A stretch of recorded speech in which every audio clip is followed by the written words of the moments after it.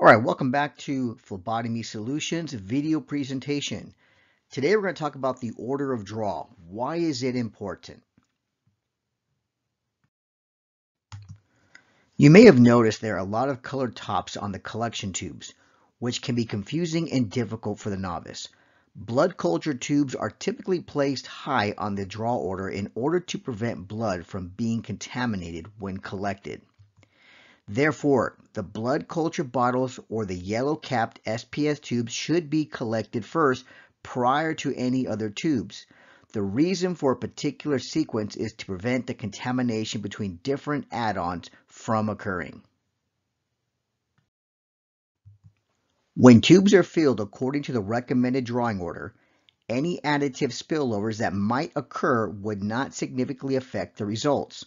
If, for whatever reason, a phlebotomist does not use an order of draw, the core needle will continue to carry the additives in the subsequent tubes, which then adversely impacts lab test results.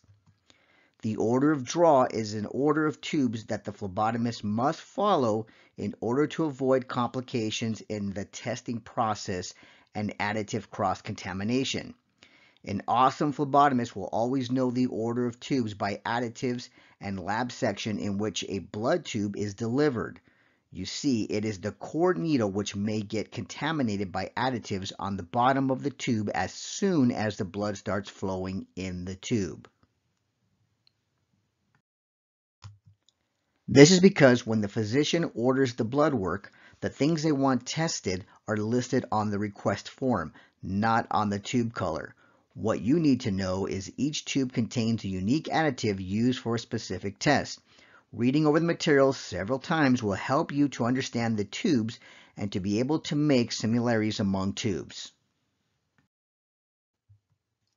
Because numerous studies have shown tissue thromboplastin does not influence the results of the PT or PTT when the citrate tube is in the first tube drawn, NCCLS, now CLSI, is confident that moving serum tubes right after citrate tubes is in the recommended order to be done. By adhering to the drawing order, patients are more likely to receive treatment consistent with results that reflect their physiology. Because tubes containing coagulation activators may affect results, tubes that are lighter with a blue or lighter blue cap must be used prior to those with red-gray caps, gray-yellow caps, gold caps, red caps, and orange caps.